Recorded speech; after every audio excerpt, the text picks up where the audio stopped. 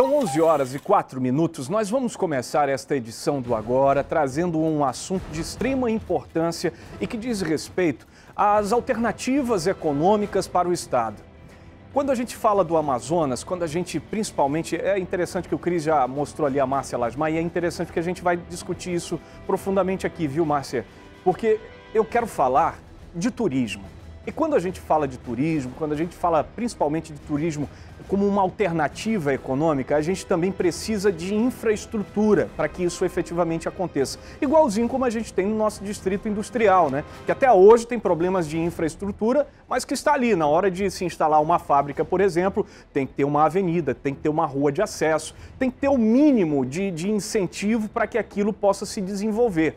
No entanto, apesar de termos um potencial enorme, as coisas por aqui não andam muito bem. Na região metropolitana é pior. Pois é, Amara, a gente está falando de Iranduba, que é a região metropolitana de Manaus, e a procura aí por balneários continua assim, sempre, é sempre muito intensa. Só que não existe uma infraestrutura adequada para receber tanto nós que moramos aqui quanto os turistas. E apesar dessas belezas naturais aí da região, a infraestrutura deixa muito a desejar. É o que a gente vai ver agora. Põe na tela. Rio cheio, praia menor e turista insatisfeito. A gente vai consumir aqui no restaurante e ainda tem que pagar a mesa, né? E sai caro. Porque se a gente unir aqui duas mesas, vai pagar 30 reais. Aí fica pesado. No balneário mais procurado de Iranduba chegou a época das vacas magras. O movimento em Açutuba cai até 75% durante a cheia. Dos seis empregados do Clemerson, ficou só a metade. O pessoal da mesa mesmo, às vezes o pessoal reclama de ah, a gente tá pagando a mesa, mas é o que mantém a limpeza da praia. Porque a gente não pega nada em relação a isso, mas o pessoal que cuida da mesa é o que cuida da limpeza da praia. E em, relação a tudo isso, não tem nenhum incentivo. Você pode ver passar em qualquer lugar, de uma ponta a ponta, não tem nenhum incentivo aqui. Neste hostel, que é uma mistura de hotel com pousada, o conceito da arte e natureza se integram em estruturas sustentáveis. Todo o lixo é separado. Materiais orgânicos viram fertilizante para a horta. Fernanda é acadêmica de turismo e se encantou com a ideia. É bem voltado para a região amazônica esse, esse meio de hospedagem, é bem diferente, eu gostei bastante. A estrutura tem capacidade para até 50 hóspedes e a procura tem aumentado, mas a falta de investimentos públicos no setor impede o empreendimento de crescer ainda mais. A estrada de acesso aqui para a Praia Sutuba ela não é sinalizada, ela, ela oferece muitos riscos né, para as pessoas que vêm e isso nos deixa muito preocupados, principalmente quando temos eventos à noite. Outro ponto turístico de grande valor histórico para a região são as ruínas de Paricatuba. O local foi cenário para o curta-metragem dirigido por Moacir Freitas. Cineasta e apaixonado pela história de Paricatuba, ele é protagonista do Sinão. O filme conta a história de um morador de rua que se transformou no mito do homem do saco. Uma lenda urbana que amedronta crianças travessas. Todas as cenas foram rodadas na comunidade. Essas ruínas, é ela, ela guarda mais de, de um século de história, do glamour ao clamor. Onde o glamour foi quando ela foi, as ruínas aí, foi liceu de arte, foi escola agrícola, serviu de teatro para esse liceu de arte também, de grandes eventos. Depois foi presídio, né? E por fim foi o depósito de, de portadores do bacilo de Hansen, do, dos ancenianos. Também em meio às ruínas, a Thaís busca o melhor ângulo. A fotógrafa veio de São Paulo e se impressionou com o lugar. Para chegar aqui é um pouco intuitivo, né? Não tem muitas placas, só bem pertinho aqui que tem uma placa. Se não conhecesse já o lugar seria difícil chegar, né? Se tivesse alguma direção maior, talvez fosse, tivesse mais movimento. Mas todo o valor histórico e cultural que poderia impulsionar o turismo nesta região ainda esbarra em soluções básicas sequer tem guia para explicar um pouco de tudo isso. Aqui foi um hospital, depois um presídio. Na verdade, não tenho bem conhecimento da história, não. Uma das principais infraestruturas do turismo é a estrada e, claro, o asfalto. Só que a obra não foi concluída e daqui até a rodovia M070 ainda faltam 3,5 km.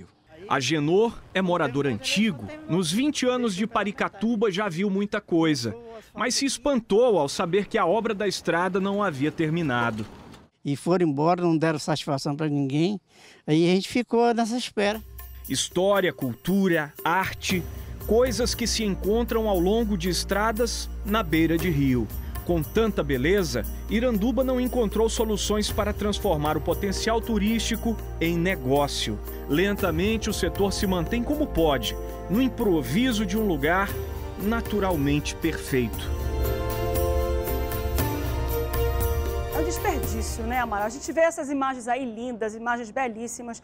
E a gente discute aqui a situação do, do, dos nossos municípios do interior. Tem muito município nosso, e isso é uma característica do estado do Amazonas, onde muitos municípios, a gente às vezes, se quiser ir de barco, demora dias para chegar. Então, essa distância dos municípios que a gente tem com relação à capital são enormes, muitas delas. Mas tem muitos municípios que são esses da, da região metropolitana que estão bem aqui. Quer dizer, custava os olhos do poder público se voltar um pouquinho mais para esses municípios que são atrativos e são atrações aí para quem vem de outros estados para poder visitar a, a, gente, dá uma olhadinha, não só lá nas cachoeiras de Presidente Figueiredo, vai em Iranduba, dá uma olhada nessas praias naturais que a gente tem aí. É, é importante que Manaus, que o estado do Amazonas, ele tenha essas opções que essas opções significam muito mais gente vindo para cá e muito mais dinheiro circulando do turismo, não só da Zona Franca, que também precisa dos seus cuidados, como você muito bem disse aí antes da gente colocar a matéria no ar, comentando sobre essa, esse cuidado que se precisa ter nas estradas, nas ruas ali que dão acesso às empresas da Zona Franca, mas principalmente ver esse potencial turístico que tem o Amazonas, ver esse potencial turístico que tem a região metropolitana e incentivar essas pessoas, incentivar para que cuide da praia, incentivar, porque se tiver um incentivo melhor, não vai precisar cobrar 15 reais numa mesa, 15 reais numa mesa. É muito dinheiro para quem está ali consumindo, para quem vai almoçar, para quem está com a família toda. Então, se tivesse um apoio melhor, mais caprichado do poder público, isso aí já não ia precisar pagar.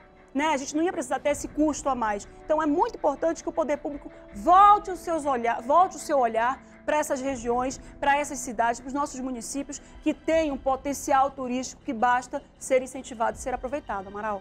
Iranduba é um município privilegiado, Marcela Asmar. Ele tem de um lado o Rio Negro, com todas as suas características, com essa beleza natural, selvagem em muitas partes ainda, e do outro o Rio Solimões, com toda a sua dinâmica, um rio maravilhoso que todos os anos muda a, a maneira como o ribeirinho uh, acaba transformando ali a vida na várzea, enfim, tem belezas é, que são fundamentais para o desenvolvimento do turismo.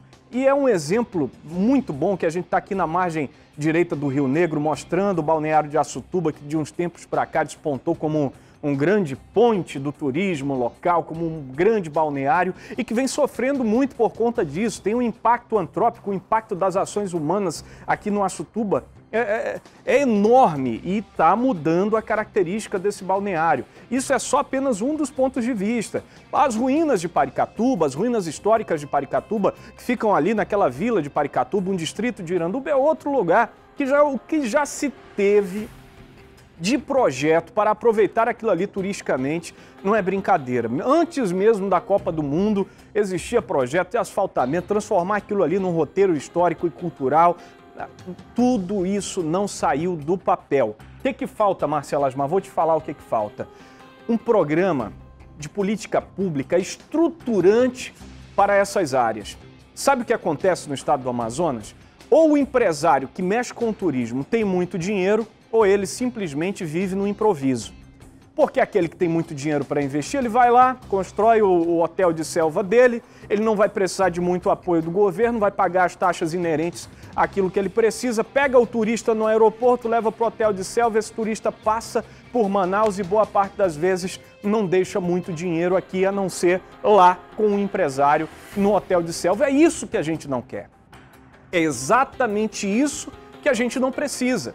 Iranduba, além de ter esse potencial enorme para o turismo, ah, tem muitas outras coisas que podem ser inseridas dentro do contexto turístico da cidade e que, infelizmente, passam desapercebidas e não se traduzem em resultado nenhum para o município. Nenhum resultado efetivo para o município. As ruínas, por exemplo, que você observava agora há pouco aqui nas imagens, levam para os moradores da comunidade sequer. Não geram nenhum tipo de renda, não geram nada de receita.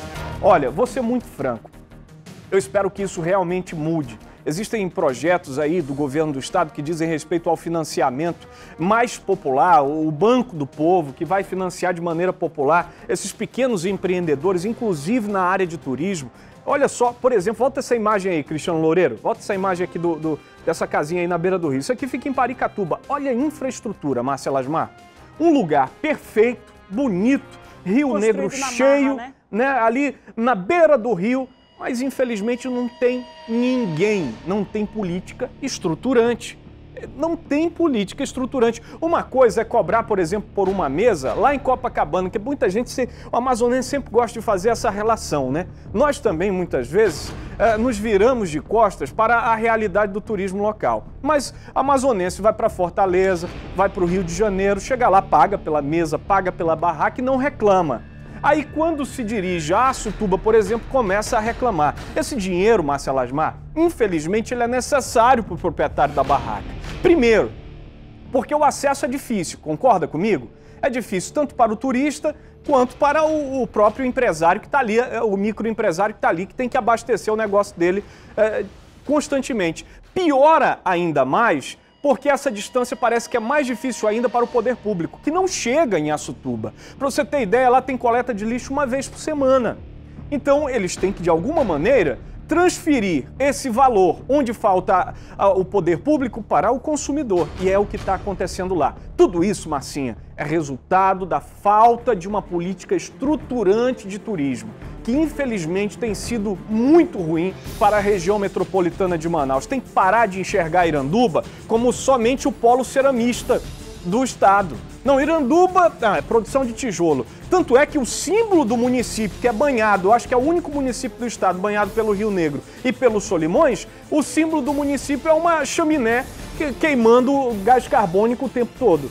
É, é- é a contramão, volto a dizer, é a contramão da política estruturante de um potencial que não é aproveitado e que precisa mudar. A Amazonas Tour e agora eu vou fazer uma crítica bem dura. Gosta muito de gastar dinheiro para ir para a Europa, para ir para os Estados Unidos, para ir para a China, para ir para o Japão, para promover feiras e participar de congressos internacionais. E eu fico me perguntando aqui quantos desses turistas alcançados pela política de propaganda da Amazonas Tour já estiveram aqui para deixar um real para esse povo.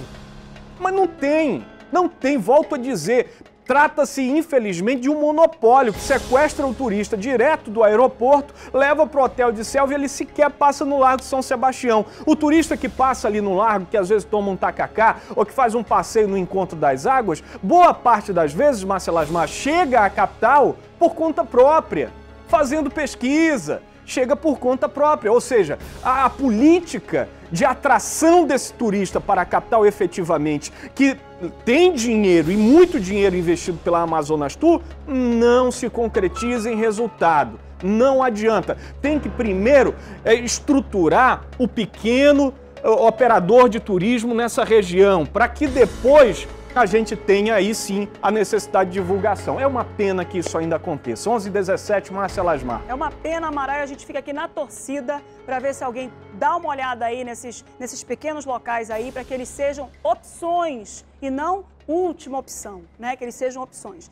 São 11 horas e 18 minutos, você que está aí do outro lado, vamos embora falar aí agora, vamos trocar de assunto, vamos conversar sobre o Dia das Mães. Uma semana, falta só uma semana para o Dia das Mães e muita gente aproveitou aí o domingo, o fim de semana, para visitar e fazer limpeza nas sepulturas dos entes queridos. E essa é a segunda data com o maior número de visitações nos cemitérios da cidade. Primeira, a primeira data é o feriado de finados. A gente vai conferir agora. Põe na tela para mim. Há 32 anos, Rita vem todos os domingos ao cemitério São João Batista visitar o túmulo dos pais. É muito isolado, o cemitério é muito grande e você não vê ninguém, ninguém mesmo cuidando, assim, algum guarda, alguém tomando conta da, de, desse Campo Santo. Já Telmo veio junto com a esposa limpar a sepultura da sogra, bem antes da data para evitar tumultos. Vem com antecedência, né, para tirar o mato, ninguém sabia como é que estava aqui. Agora a gente está dando uma limpeza por dentro, né? Por fora a prefeitura acho que vai se encarregar de limpar, né? Alan perdeu o pai recentemente e aproveitou o domingo para fazer a primeira limpeza. A situação não está nada fácil, né? A vegetação está crescendo, né? principalmente com a, com a, chegada da chuva aí, né? Então, gostava nada de fazer um pouco mais, não só em volta, mas pelo serviço um pouco melhor, né? Além de muito mato, a falta de segurança é um dos problemas de quem visita o cemitério Nossa Senhora Aparecida no Tarumã, o maior da cidade. Até as cruzes são roubadas. Quando se faz uma de mais bonitinha, o pessoal vem, rouba e leva. As gradinhas que a gente faz para colocar com cadeado e tudo, eles tiram o cadeado, quebram e levam as gradinhas. Toda vez a gente tem que fazer novas gradinhas, cuidar, colocar novamente ou então ficar pagando um cuidador. Mato e lixo. Mesmo assim, a saudade não abandona quem visita esses locais. É uma pena, né? É um local aí onde as pessoas prestam suas homenagens, visitam os túmulos daqueles que já partiram e é uma pena que se encontre tudo tão abandonado. Né? Muitos desses túmulos aí, eu quero crer, né, que às vezes os parentes nem estão mais vivos para poder tomar conta do, do, do túmulo que está ali já, às vezes, há muito tempo. Mas, principalmente, tem que se tomar um cuidado melhor com o cemitério. Ali é o momento. Nós somos, nós somos um, um, um, país, nós somos pessoas que somos cristãs, nós enterramos nossos mortos e acreditamos que eles estão ali é, para a gente prestar as homenagens, né, para visitar né, nessas datas aí importantes para a gente. Mas é importante que essas pessoas que estão com seus entes ali enterrados encontrem um local organizado, pelo menos limpo e livre de tanto mato. Não dá para a gente ver desse jeito aí essa situação e um abandono geral, né, Amaral? Olha, Márcia, eu fico me perguntando cadê o mutirão de limpeza dos cemitérios que a gente ouviu muito divulgar aí pela CEMUSP. Cadê o mutirão de limpeza do cemitério, rapaz? Pelo tá amor de Deus, será que né? limparam os cemitérios e o mato cresceu tão rapidamente? Porque se esse mato cresceu assim nos últimos dois meses, meu amigo, tem que fazer um estudo porque é uma variedade mutante de capim. Pelo amor de Deus. É, é, olha, vai deixar para fazer isso na reta final, na última hora, na última semana, às vésperas do dia das mães, quando os cemitérios são muito procurados, vai deixar para fazer que é para poder mostrar que está fazendo alguma coisa. Não é por aí. Não é desse jeito, tem que parar com essa propaganda e essa falsa propaganda de serviço. Tem que ter é uma rotina e obedecer a um cronograma de limpeza. Porque hoje a imagem que a gente tem, volta aí, Cristiano, por gentileza. Hoje a imagem que se tem, volta aquela imagem lá, Cristiano. Por gentileza, vai voltando aí que quando chegar eu te digo. Aí, passa um pouquinho, passa um pouquinho. Hoje, infelizmente, tá aqui, ó. Essa aqui é a, é a, é a realidade da, de boa parte dos cemitérios da capital tem mais mato do que cruz. Já não se vê mais cruz. Só se vê mato alto. O que, que vai falar? Cadê o dinheiro que é investido? Porque tem, tem um departamento que cuida exatamente dos cemitérios. Cuida da limpeza, da ordena, do ordenamento, né, da, dessa parte específica. E o que está acontecendo com esse dinheiro? Para onde foi esse dinheiro? Será que o gato está comendo? Porque o gato não come o mato. Porque esse começo estava limpo. Mas o gato come o dinheiro. Olha, Márcia Lasma, é um absurdo isso. Porque nós abrimos espaço na televisão amazonense, aqui no programa agora. Outro dia mesmo nós mostramos aqui todo um cronograma de limpeza dos cemitérios que ia ser obedecido para quando chegasse a véspera do Dia das Mães estar tudo limpinho. E há uma semana, faltando apenas uma semana, a cinco dias do Dia das Mães, Olha só como é que estão os cemitérios da capital amazonense. Gato não come mato, ele até chega a mastigar ali, mas depois ele bota para fora. Mas está comendo dinheiro, porque o dinheiro da limpeza não sei para onde foi. E se não foi usado, está na hora de usar. Tá Marcela Asmar. Está na hora de usar Amaral e está na hora de deixar isso aí pronto para receber as pessoas. Porque é um absurdo que a gente veja realmente uma semana e tem muito mato para ser, ser catado daí, viu? A gente espera que dê tempo. São 11 horas e 23 minutos. Tem telespectador na linha do programa da comunidade. Alô? Alô. Com quem Alô? eu falo? Com a Daiane. Tudo bom, Daiane? Fala de onde? Daqui do bairro Jesus Me Deu. Do bairro Jesus Me Deu, Daiane. O que está acontecendo aí? Porque assim, aqui, aqui no bairro Jesus me deu, na rua Galileia, a rua está completamente destruída, né? Não passa carro, não passa moto. Aí sábado teve um acidente de uma senhora. A senhora escorregou num, num buraco cheio de lama, ela, ela andando, ela caiu, quebrou o nariz, quebrou a boca. Aí em junho de 2014, o carro, o cara não conseguiu frear, saiu dentro do carro, o carro saiu na ladeira abaixo. Graças a Deus não tinha nenhuma criança. Dele no carro do meu marido acabou com, com o carro, tá entendendo? E nós queremos uma providência que venha ajeitar nossa rua. Qual é a rua, Daiane? É Rua Galileia. Rua Galileia, no bairro Jesus Me Deu. Você mora aí há quanto tempo? Só pra gente saber há quanto tempo que essa rua tá desse jeito. Eu moro aqui já faz quatro anos. São quatro anos que essa rua tá assim. Fala com a nossa produção, Daiane, por favor. Olha só, Amaral, uma senhora caiu no buraco e quebrou a boca. Veja você as informações que a Daiane está trazendo para a gente lá da rua Galileia, do bairro Jesus Me Deu. Há pelo menos quatro anos a rua não recebe infraestrutura, não está asfaltada e o que tem muito lá é buraco. Muito buraco e gente caindo dentro do buraco. É uma tristeza que a gente tem aqui dessa notícia. A gente vai trazer hoje também aqui no programa da comunidade a denúncia lá do Rio Piorini, viu, Amaral? Não é a Galileia não, meu amigo, mas é uma rua muito parecida. Coloca a imagem na tela. Ainda nesta edição do Agora tem a denúncia da comunidade. Nós vamos mostrar a situação precária de infraestrutura no Rio Piorini. Como eu disse, não é a Rua Galileia, mas está muito parecido com o relato que a telespectadora acabou de contar pra gente por telefone. Essa é uma denúncia que a comunidade fez pra gente. Nossa equipe de reportagens foi lá checar de perto e olha só o que os nossos repórteres encontraram, meu amigo. Lama, buraco, mato, a rua Monte Feliz está nessa situação e daqui a pouco a gente conta isso em detalhes para você. Por enquanto, 11 horas 25 minutos. Coloca a imagem da adolescente Rayanara de Souza Santiago, de 12 anos aqui na tela. Nós falamos sobre ela na sexta-feira e que bom que ela foi reencontrada. Assim que nós exibimos a foto da Rayanara aqui no programa agora, que estava desaparecida lá na Compensa, zona oeste da capital, e divulgamos o telefone de contato, o pai já conseguiu encontrar. A Rayanara estava na casa de pessoas conhecidas, estava tentando. Tá, a, a, a, a Cunhantã está sapeca, está numa idade complicada e o pai precisa dar uma freada, mas tem que ser rápido em fazer isso fugiu de casa para estar tá na casa de pessoas lá e ele descobriu, o pai ainda descobriu que ela estava faltando, gazetando aula, enfim, está na hora de tomar uma atitude mais drástica, mas é só uma maneira da gente dar uma satisfação para o telespectador, porque na sexta nós divulgamos o desaparecimento dela e na sexta mesmo ela foi encontrada. Que bom, que bom que foi encontrada com saúde. 11 e 26. Vamos em frente com o programa agora. Você que está aí do outro lado, obrigado pela audiência. Alô Tefé, obrigado por todos os dias você se conectar com a gente pelo sinal da TV em Tempo em Tefé, canal 28, Parintins, canal 22. Obrigado pela sintonia diária. 11:27 você de Quari também sintoniza o SBT pelo canal 25. Obrigado a você que participa pelos telefones, que participa pelo WhatsApp. Agradecemos também a você que sempre está de olho nas dicas de Márcia Lasmar. Marcinha!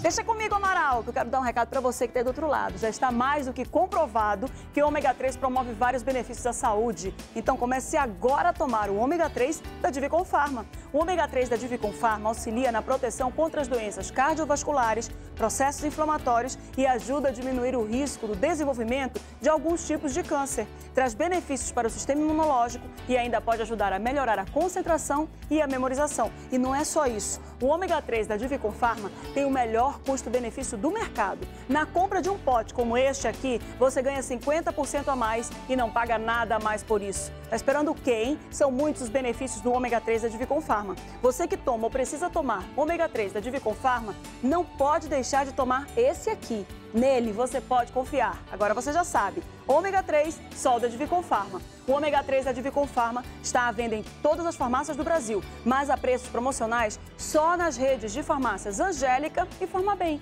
Eu disse Angélica e Farmabem. Amaral, é contigo. Obrigado, Márcia Lasmar. 11 horas 28 minutos, conectado com a gente por meio dos nossos telefones, está mais um telespectador do programa agora querendo fazer denúncias. Alô, bom dia. Com quem eu falo?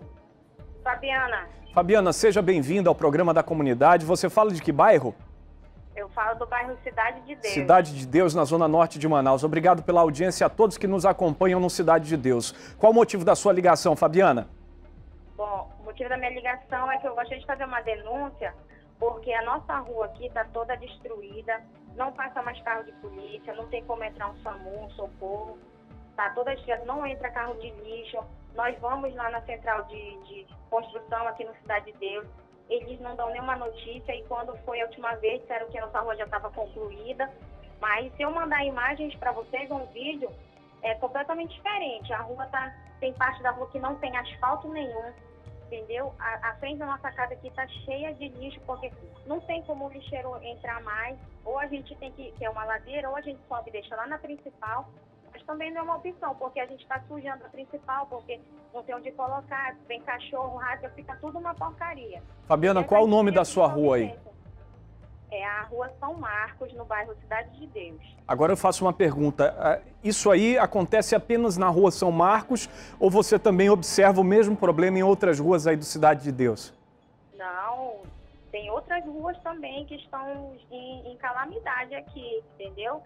E detalhe, algumas ruas que foram concluídas, mas foram as pessoas que foram lá, bateram panela, fizeram mesmo um manifesto, aí eles foram e arrumaram. Quer dizer que você chegou lá no distrito de obras, você chegou lá no distrito de obras, o pessoal disse que a rua estava concluída. Sim, estava concluída porque no começo da rua, porque a rua é bem extensa, no certo. começo da rua fizeram uma obra.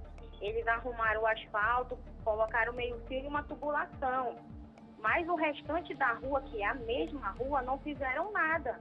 Então a gente até desconfiou que fossem algumas pessoas de lá que fizeram algum tipo de negócio, porque não é possível eles arrumar o comecinho da rua e o restante da rua não, não fazer nada, continuar uma buraqueira, uma lameira, as crianças dificuldade para ir para a escola, entendeu? Não, não passa nada. Você tem toda a razão em falar, viu, Fabiano? Obrigado pela ligação, representando a comunidade, o Cidade de Deus, um dos maiores bairros da zona norte da capital e que ainda sofre problemas sérios de infraestrutura. E a Fabiana faz uma pergunta que é muito justa, né? O que, que aconteceu com o material? O que, que aconteceu com o dinheiro da obra que a rua ficou pela metade? Parte está concluída, a outra parte está esquecida. Será que são bairros diferentes? Será que a rua da Fabiana fica na divisa entre dois bairros? Que, que aconteceu com o material? Alô, Distrito de Obras da Zona Norte de Manaus, o que, que houve? Para onde foi o material da conclusão da Rua da Fabiana? Vamos fazer a pergunta para o distrito já já, diretor? Vamos ligar lá para o distrito da Zona Norte da capital responsável pela Cidade de Deus, saber o que, que houve com o material, o que, que falta para a rua ser concluída, porque essa satisfação aí não faz, não faz sentido. 11 horas 31 minutos. Me dá a imagem do esporte aí, diretor. Agora aqui faz sentido, né? Aqui faz sentido. Vascaíno comemorando, o Curumim ali nasceu sem ver o Vasco campeão, mas agora já viu o time dele vencer um campeonato, um campeonato e tanto, né? Porque tá, foi uma vitória muito bonita, venceu os dois jogos, porque o time do Botafogo era um time bom. Já o meu Palmeiras, meu amigo, teve que se curvar diante do Santos, jogou mal e não cumpriu os fundamentos. Não tem muito o que comemorar, né? Não, não sabe bater pênalti, não pode, infelizmente, não pode ganhar jogo. São 11 h 32 daqui a pouco a gente mostra como os amazonenses. Olha a torcida do Santos aí! Nossa equipe de reportagens encontrou os Santistas mega empolgados. Aí estão eles se reunindo para torcer pelo Santos que ganhou do Palmeiras e ganhou nos pênaltis, ganhou bonito e merecido. Já já depois do intervalo a gente vai falar também com os representantes de Vasco e Santos que estão aqui na redação. 11 e 32 até já.